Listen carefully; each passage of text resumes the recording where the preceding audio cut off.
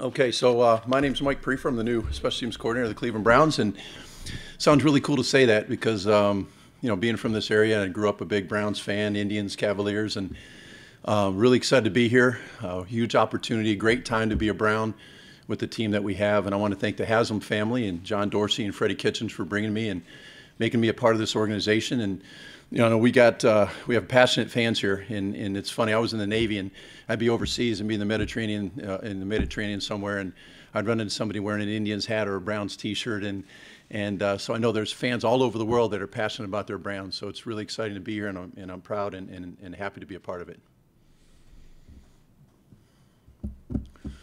That's it. All right, we're good. Oh how much time did you spend in Cleveland before? I know you moved around a lot. How much yes. time did you spend here, and how often did you come back? So I still have family around here, aunts, uncles, uh, cousins, and um, and it's funny you mentioned that because every time we would play the Browns when I was with different teams, they'd say, "Hey, Uncle Mike," or "Hey, um, you know, my, my, nephew or cousin, or whatever." They say, "Hey, you know, hey, good luck. I hope the Browns win." You know, they were still cheering for their Browns. So I know, and any other family members, you know, my immediate family, they always cheer for you know whatever team I'm coaching for. But I spent my first uh, about 10 years of my life here, five in Middleburg Heights and and five in Brunswick. My dad was the uh, head football coach at Padua Franciscan High School. So I kind of grew up around Padua and St. Anthony. In fact, he lived on 6850 State Road, right up on the hill there across the street from St. Anthony.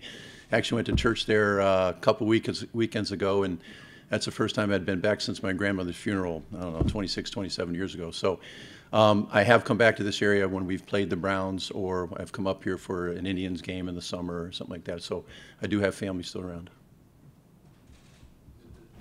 Because you, your contract goes up with Minnesota. and Yes.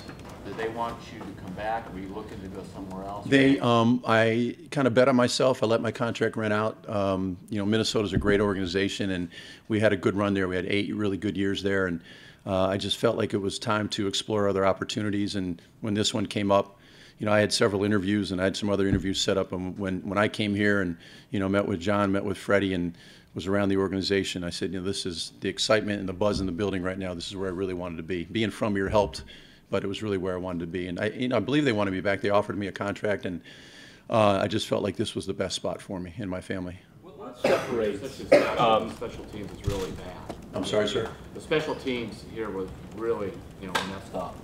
Uh, have you were you in a situation before where they you took over special teams that just was not doing very well at all, and, and how quickly do you turn it around?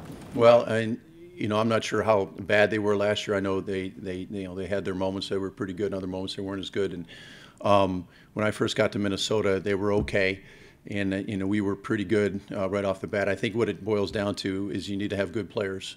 Uh, you need to have players that love the game of football. And I'm going to tell these young guys when they get they get in the building here in April that, you know, you cannot be a good special teams player unless you're passionate about the game of football if if you just you're out there for a paycheck, you're out there just to get by, you're out there, hey, I only want to play linebacker or running back, then first of all, you're not going to help our team win, and you're certainly not going to help us on special teams. So if you have a passion about football, if you love the game, um, then I think you have a chance. If you're good enough and use, I, I tell guys, use the fundamentals and techniques we give you, and then let God take over. You know, let the God-given talent that you've been given to to uh, to help you uh, play at a high level. So.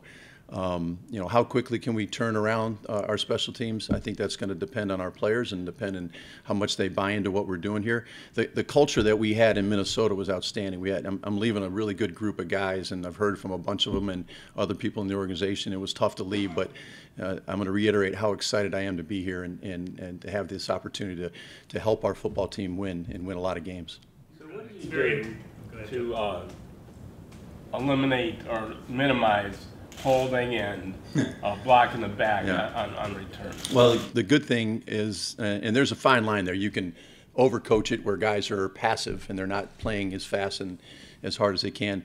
Um, but what we've what we've had the last two years in, in, in Minnesota is the uh, we were the least penalized special teams units in the league two years in a row.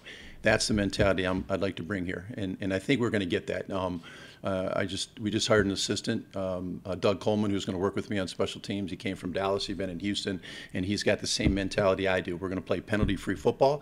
We're going to play fast. We're going to play physical. We're going to play discipline. We're going to play with enthusiasm and passion, and we're going to help our football team win games. Um, I don't think that, you know, I, I don't want to go into a situation where I think, hey, we're going to go out and win every game for the Cleveland Browns. And that's, that's not our role on special teams. Our role is to go out there and be a weapon in all six phases, and, and including field goal and field goal block. Be a weapon, play great complementary football, and at the end of the day, let's hope we win the game. And, and that's where our mentality is going to be as we train these young men.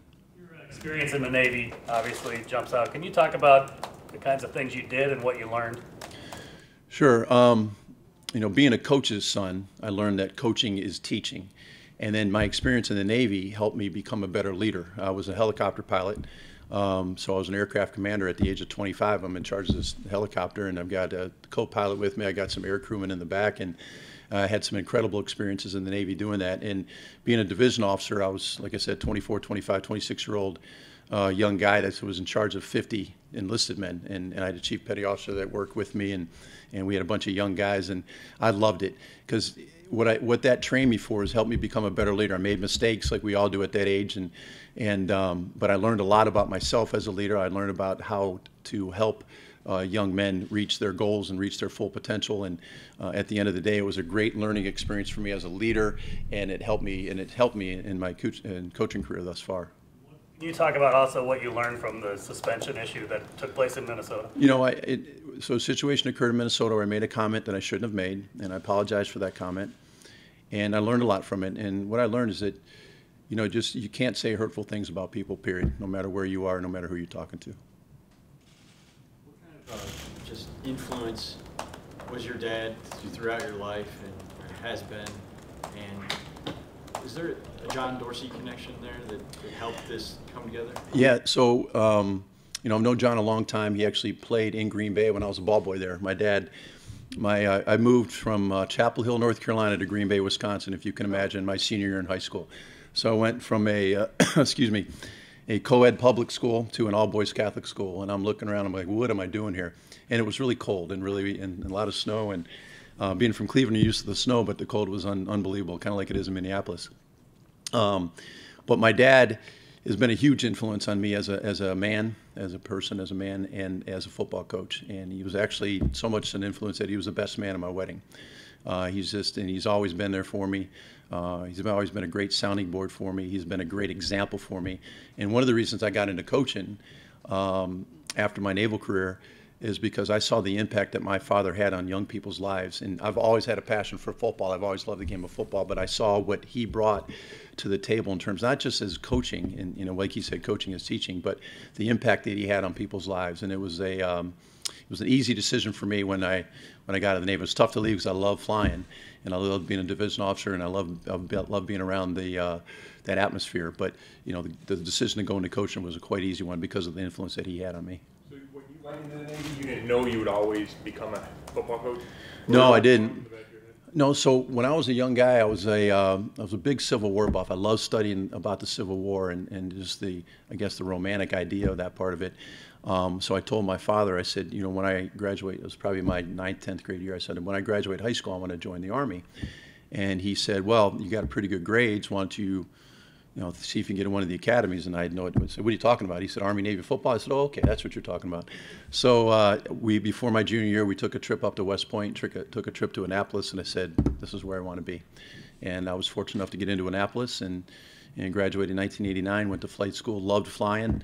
Uh, but we'd go on deployment, and you know, guys would bring books or whatever they want to read, and I'd bring a playbook. I'd bring my dad was coaching at Georgia Tech at the time, and here I am flipping through the defensive playbook at Georgia Tech for enjoyment rather than reading a book or whatever. So I kind of knew in the back of my mind that was going to be something I've uh, you know always wanted to do. Did you, um, some guys really like being special teams coach, Mm-hmm. like Jerry Rosburg, he's been one. One of, one of the best in the league. Yep. He used to be here. Um, so, did you, do you have aspirations of being a head coach, or are you one of these guys that want to really just make your name eh, like Jerry Rosburg? Well, I, I mean, I've always had the, the passion to be a head coach, but what I've come to realize is that uh, I may not have that opportunity in the NFL. And you know what? That's okay. Um, my job right now is to be the best special teams coordinator that the Cleveland Browns can have. I want to be the best best teams coordinator that they've ever had. Um, I want to lead these young men in, in the area of special teams to help us win a championship. And I absolutely love coaching special teams. I wouldn't want to coach anything else, and, and maybe someday be a head coach. That's fine, but that's not for me right now. What for me right now is to be the best special teams coordinator that the Cleveland Browns need me to be to help us win a bunch of games. Obviously considerably, kind of label your special teams good or bad. You know, if you if guys miss field goals all over the place or whatnot. What did you think of uh, Greg Joseph? You know, first of all, um, special teams is six phases, and I understand where you're coming from. I understand that completely, and I've been there before.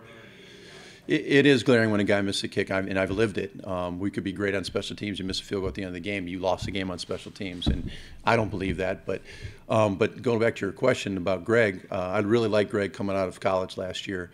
Uh, strong-legged kid. He, you know, needs some technique work. I still think he needs some technique work, but there's something there. He, he's got a really big leg, and I think to kick in Cleveland, to go to Baltimore, to go to Pittsburgh, to go to Cincinnati, all these outdoor venues that I haven't been used to the past eight years, um, you're going to need a strong-legged young man. And um, so I like Greg. I like what he brings to the table. I think he's got a chance to be a really good kicker. Uh, will we bring in competition for him? I'm not sure yet. We haven't had those discussions, but um, at the end of the day, I think he's got a chance to be pretty good. And I did like him coming out. Did you, did you seriously consider a career in the Navy? Did you? I did. I did. Um, so about 1997, I've been a GA at, at the Naval Academy. So I went back to Na- the Naval Academy for my shore duty, which was not the best career move. Uh, I was told that was uh, not a good career move, but I wanted to give coaching a chance. I kind of backdoored my way into coaching and uh, probably made my Navy superiors upset that I did that instead of focusing on the Navy. But um, I thought real serious about doing it. So in '97, when I got out of the Navy, you know, I was just got a job with Coach Tressel at Youngstown State, uh, which was a phenomenal experience for me. Won the '97 national championship. It was a really, really cool deal. Uh, but there was part of me that wanted to stay in. There's part of me that wanted to go fly helicopters in the FBI, and there was part of me that wanted to go coaching. And to be honest with you, I'm glad the coaching won out. So I'm really excited to be here and, and excited about the future of the Cleveland Browns.